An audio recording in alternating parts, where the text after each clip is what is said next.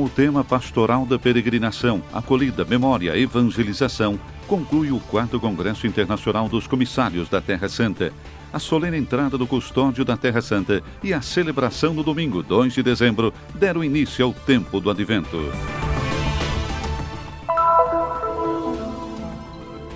Em uma atmosfera de grande festa, foram acesas as luzes da árvore de Natal em Belém, na Praça da Manjedoura, em frente à Basílica da Natividade, na presença de milhares de cristãos e peregrinos locais de todo o mundo. Um gesto de amor na atmosfera de Natal, jovens membros do grupo São Francisco de Ramalá trouxeram presentes para crianças deficientes em Belém.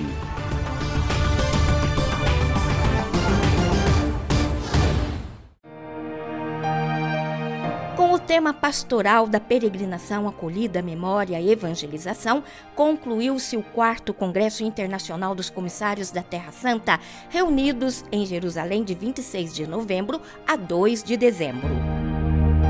Na mensagem final, Frei Francisco Paton, custódio da Terra Santa, insistiu nas quatro grandes tarefas para as quais os comissários são chamados: conhecimento da Terra Santa e o convite à promoção criativa dos lugares santos, como dos dramas que habitam esta terra. A necessidade de operadores de paz, criação de iniciativas de oração e sensibilização para a paz a continuação do acompanhamento de peregrinações e a promoção da coleta pontifícia em favor da Terra Santa. Foram sete dias de partilhas e de apresentações das diversas realidades da Terra Santa. Prima di tutto, cioè ci sono diversi aspetti di questo incontro. Prima Primeiro de tudo, existem diferentes aspectos deste encontro. É uma boa oportunidade porque todos os comissários estão em países, situações e contextos diferentes e podem se reunir para compartilhar os seus serviços, para fazer uma reflexão sobre suas atividades e encontrar alguma ajuda que sirva em suas situações concretas. E appunto raccogliere anche magari qualche aiuto che gli serve poi nelle loro eh, situazioni concrete. Os comissários da Terra Santa têm sua própria organização dentro da Ordem dos Frades Menores. L'aspetto per così dire giuridico è molto importante perché in maniera univoca e anche completa. O aspecto jurídico é muito importante porque em maneira unívoca e completa de todas as orientações necessárias. Com base nesses textos legislativos, vemos que os comissários, os comissariados, são entidades da própria ordem, assim como a custódia da Terra Santa. É uma missão dentro da ordem dos frades menores. Enti dell'ordine stesso, come è anche la custodia di Terra Santa e la missione dell'ordine stesso. What I wish to stress to these commissaries who were here is to understand that their work is not something o que eu espero que os comissários ouçam é que seu trabalho não é algo separado da província, mas é um trabalho essencial, um verdadeiro trabalho de evangelização, porque lembram as pessoas que Jesus Cristo nasceu nesta terra, entre essa gente, e o seu nascimento, vida, morte e ressurreição aconteceram aqui. Falam ao mundo da veracidade histórica da fé cristã, da ação de Deus, da salvação de Deus, mais que das coisas deste mundo. That God's action, God's salvation, is rooted in the things of this world, and it's from this world that we journey into the full reality of the kingdom of heaven.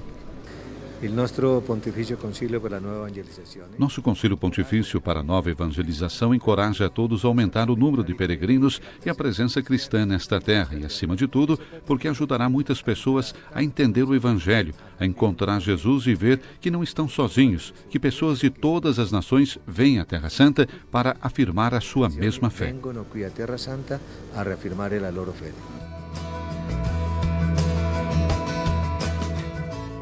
Well, maybe the importance of the pilgrimage is always uh, the same today and yesterday and uh... A peregrinação sempre foi importante, hoje como ontem e como há centenas de anos atrás, porque, em primeiro lugar, vem da experiência de fé pessoal. Fé não é teoria, não é uma atividade social, não é um conhecimento, não é uma ciência ou uma atividade política. A fé é o encontro pessoal com Cristo. Not just a knowledge, not a science, not a uh, political activity. Faith is a personal encounter with Christ. Além do incentivo às peregrinações, os comissários realizam diferentes tarefas nos seus países de origem. I have three different entities that I must communicate with: the bishops, tenho três instituições diferentes com as quais tenho que dialogar: os bispos, a província e Jerusalém. Essas são as minhas três prioridades. Portanto, tenho total responsabilidade para com os bispos e a província em relação ao dinheiro para a coleta da Sexta-feira Santa. Estas são algumas das minhas principais tarefas. That's, that's the principal uh, task I fulfill uh, during the year. Giovanissimo. O comissariado do norte da Itália é muito jovem porque tem apenas dois anos de idade. É o resultado da fusão que ocorreu há dois anos nas províncias do norte da Itália. De seis províncias a uma só. E, portanto, são todos novos desafios porque é um vasto território. 9 milhões de habitantes, 60 dioceses, 15 mil paróquias. Por isso, estamos trabalhando muito para fortalecer o relacionamento com os bispos, com as paróquias, promover as peregrinações e a coleta da Sexta-feira Santa, mas acima de tudo, está no coração fazer conhecida e amada a Terra Santa. E amare la Terra Santa. De modo que los pueblos latinoamericanos sienten esto, vibran con esto. O povo latino-americano sente, vibra, manifesta sua fé em Jesus. Nós, comissários, acompanhamos essa realidade. Nós vivemos no meio de um povo com muita fé, que sinceramente vive sua fé e colabora com a obra da Terra Santa. manifestar su fe, que viven sencillamente su fe y que colaboran con toda la obra de la Tierra Santa. The commissariat in the Philippines has been in existence since 19... O comissariado existe desde 1952. Este é o meu terceiro ano como comissário. Minha principal responsabilidade é incentivar o comissariado para que ele possa atuar como uma conexão entre a custódia da Terra Santa, os franciscanos das Filipinas e a igreja local, em particular com as várias dioceses.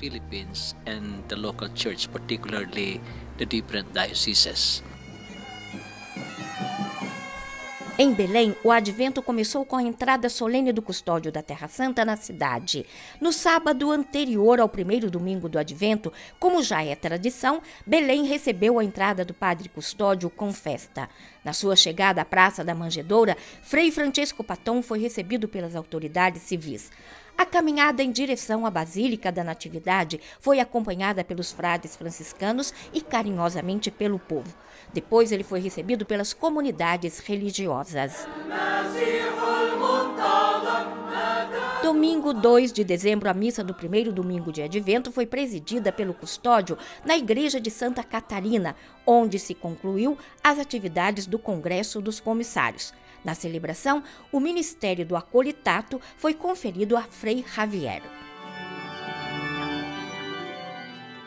With this celebration, we conclude the International Conference of the Commissaries. Na homilia, o custódio lembrou que esta época litúrgica nos convida a fazer memória da primeira vinda de Jesus que aconteceu aqui em Belém e que, além disso, nos chama a esperar ansiosamente a segunda vinda final do Senhor. Na celebração também estava presente o núncio em Israel e Chipre e o delegado apostólico para Jerusalém e a Palestina, Dom Leopoldo Direlli. No final da celebração, Dom Direlli dirigiu palavras de agradecimento e encorajamento aos comissários. Os comissários, ou apóstolos da Terra Santa espalhados pelo mundo, receberam no final da celebração, em homenagem ao trabalho, uma cruz em madeira de oliveira. Penso che portino con sé anche questo forte incoraggiamento a vivere il loro servizio. Acredito que eles também trazem consigo esse forte encorajamento para viver seu serviço como um serviço à ordem, à Igreja e à Terra Santa. E portam consigo agora, eu diria também, ainda mais forte, esta espiritualidade da peregrinação que nós tentamos aprofundar esta semana. E isso é fato.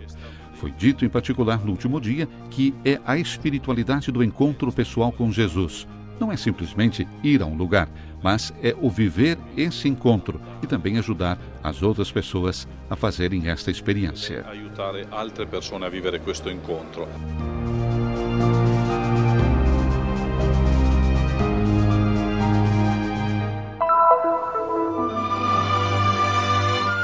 Milhares de cristãos, turistas e autoridades civis e religiosas foram à celebração de inauguração da Árvore das Luzes de Natal na Praça da Manjedoura, em Belém. Entre os presentes, o núncio em Israel e Chipre, delegado apostólico de Jerusalém Palestina, Dom Leopoldo Girelli, o custódio da Terra Santa Frei Francesco Paton e o vigário patriarcal latino para Jerusalém Palestina, Dom Jacinto Boulos Marcuzzo. A cerimônia teve início com a apresentação dos escoteiros palestinos e pronunciamentos de prefeitos provenientes de cidades europeias com as quais Belém tem fortes laços de geminação. O evento contou ainda com shows musicais e apresentações artísticas que incorporaram o tema do Natal e os inúmeros significados que esta celebração cristã traz consigo. Como uma mulher palestina de Belém, tenho orgulho de ter nascido na terra natal de nosso Senhor Jesus Cristo. Jesus quer que mudemos nossas vidas e comecemos uma nova vida cheia de alegria e paz. Nasci em Belém, onde Jesus nasceu. Ele é a nossa maior alegria. Esperamos que ele fique conosco. A sensação é indescritível porque se cruzam tantos sentimentos é uma graça, um presente, e é belíssimo encontrar-se aqui em Belém, onde Jesus nasceu, para dar início a este tempo litúrgico de espera da celebração do mistério que mudou a história do mundo e a história de cada um de nós. O Natal é um novo começo para tudo. Renovamos nossas vidas, nossos corações e renovamos nosso relacionamento com nosso Senhor e os seres humanos. Eu sou de Belém e para mim Natal é uma das épocas mais bonitas do ano. O prefeito da cidade, Anton Salomão, espera que a iluminação de Belém seja ocasião de alegria e esperança. Oremos ao Todo-Poderoso para que a estrela que iluminou os céus de Belém e conduziu os reis magos seja sinal de liberdade, paz e salvação para os povos.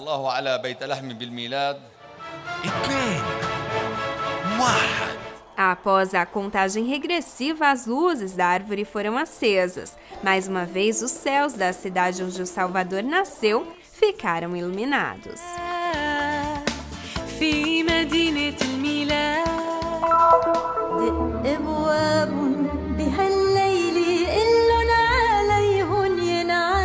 Levar alegria e esperança aos corações das crianças portadoras de deficiência é importante particularmente no período de Natal. Tempo de amor, misericórdia e paz. Esse grupo de jovens proveniente da cidade de Hamlet atualizou o anúncio do anjo Gabriel. Não temais, eis que vos anuncio uma boa nova, que será alegria para todo o povo. É a primeira vez que venho a um lugar assim. Senti Jesus entrar no meu coração. Vi seu rosto naquelas crianças espontâneas, simples e inocentes. Gostaria que o mundo inteiro tivesse um pouco dessa simplicidade e experimentasse a alegria que elas sentem.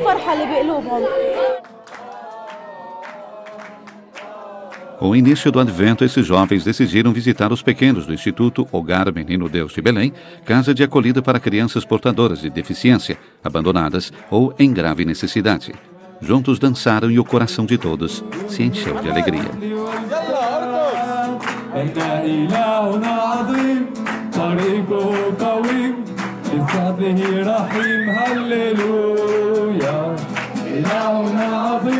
في هذا اليوم العظيم اللي فيه بنبدا مسيرتنا نحو الميلاد نبتدئ نلمس الرب يسوع المسيح في هذول Nesse dia no qual iniciamos esta viagem rumo ao Natal, buscamos Jesus Cristo nessas crianças e damos a elas a alegria e o amor que Ele mesmo nos deu. Essa é a mensagem do Natal. Estar presente diante de cada pessoa que precisa do Salvador, como sinal de misericórdia, amor e paz para todos, e como encarnação da mensagem do Evangelho nos corações, nas mentes e na vida cotidiana. Responsabilizar-se pelas pessoas com necessidades especiais e integrá-las na sociedade é dever de todos.